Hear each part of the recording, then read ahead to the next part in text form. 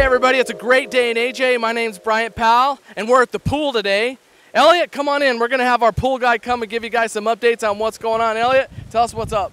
Well, we are very excited for the first time in many years. We will be open seven days a week for Open Swim. We'll be open Monday through Thursday from 11:30 a.m. till 4 p.m. and Friday, Saturday, and Sunday from 1 p.m. until 5 p.m. We've also added a couple new special events. Go over to Apache Junction AZ gov forward slash parks to see all the new events we got going on at the pool this summer. I'll also hand it over to Dave, our park superintendent, to tell us about some of the updates we're doing here. Okay, Brian, we got a ton of new improvements out here that we're super excited about. Uh, we removed the natural grass around our comp pool and volleyball court and put in artificial turf. Uh, you know, we live in a desert, so we're trying to save water, trying to reduce maintenance costs.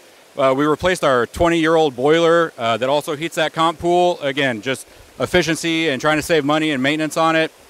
We've brought out new shade umbrellas for our patrons to have some shade when it's 115 out here. We got new doors on our building. We got all kinds of cool stuff that we want you guys to come out and check out that makes our pool even that much better than it already is. Oh, wow, Dave, it looks great. It looks so awesome out here. So excited for the season coming up. And I could stay here all day chatting on this and the pool and our wonderful aquatic center, but I got to get over to a meeting at the mayor. I don't know how I'm going to make it in time. Well, you know, Bryant, we got one more thing that I didn't tell you about. We actually installed a portal over here that'll get you there even faster than you think. Wow, that's great. How?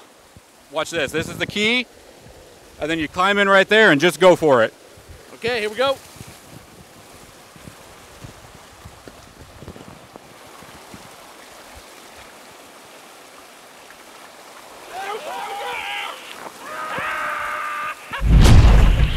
Oh, the portal.